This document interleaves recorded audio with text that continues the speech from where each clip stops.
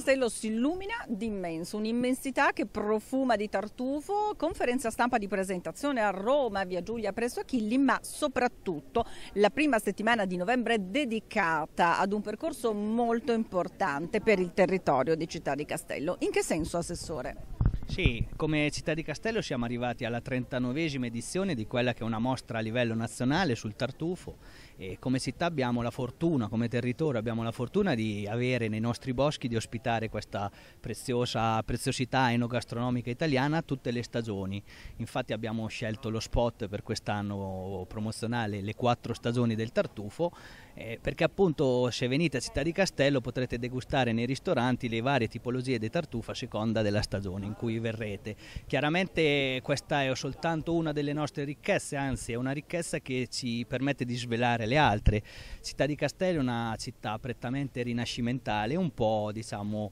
non in linea con le altre dell'Umbria, è una città che eredita il suo patrimonio architettonico dalla vicina Firenze e quindi si presta come un elemento di novità all'interno del panorama architettonico della regione Umbria. È una città anche particolarmente fortunata con l'arte perché ha una pinacoteca dove ci sono opere di Raffaello che è stato molti anni a lavorare a Città di Castello nella sua carriera e anche di Signorelli, mentre dall'altro canto sull'arte contemporanea abbiamo dato i natali a Alberto Burri e anche a Nuvolo, quindi riusciamo eh, anche a coprire diciamo, con due nomi di spicco eh, diciamo, quello che è il mondo immenso dell'arte contemporanea. Quindi abbiamo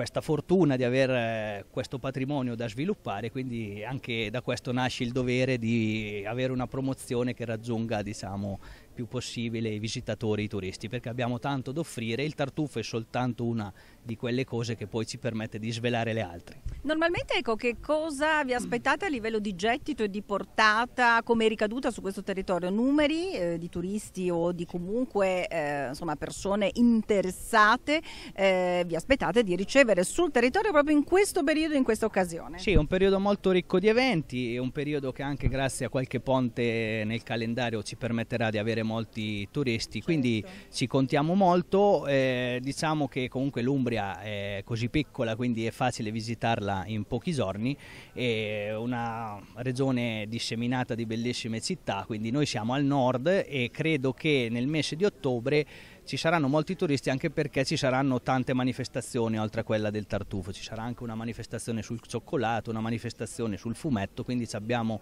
un mese molto ricco di eventi. Questo chiaramente spinge molto il turismo, eh, noi siamo convinti di, di, poter offrire molto, chiaramente il nostro è un turismo qualificato, un turismo certo. di nicchia che è un turismo che va a cercare l'arte, va a cercare i patrimoni architettonici e va a cercare anche le ricchezze enogastronomiche come il tartufo bianco diciamo, è un esempio eh, molto importante. Quindi sì, come turismo stiamo eh, attraversando un periodo che eh, viene dopo un periodo difficile per le regioni del sappiamo, centro Italia, sappiamo, tutti sappiamo il perché, ma c'è una ripresa anche perché, come ho detto prima, le cose da offrire sono veramente tante e noi cerchiamo, abbiamo il dovere di promuoverle. Grazie.